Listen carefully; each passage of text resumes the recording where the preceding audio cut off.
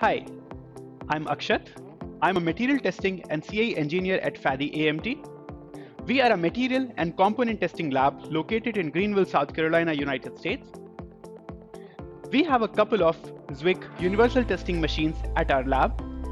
So today, I'll be talking about my favorite feature in Zwick testXpert software. Let me show you through an example. ZIMT is a very user-friendly and flexible programming language that allows creation of complex test methods and parameters for use in our tests.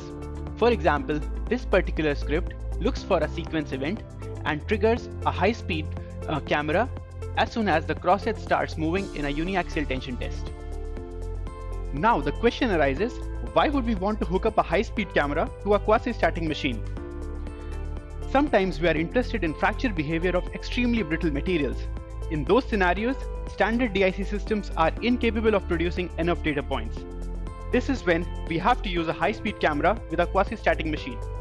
Now, syncing the force signal from the machine with the high-speed camera is a challenge in case of a quasi-static machine, and ZIMT scripting makes it super easy.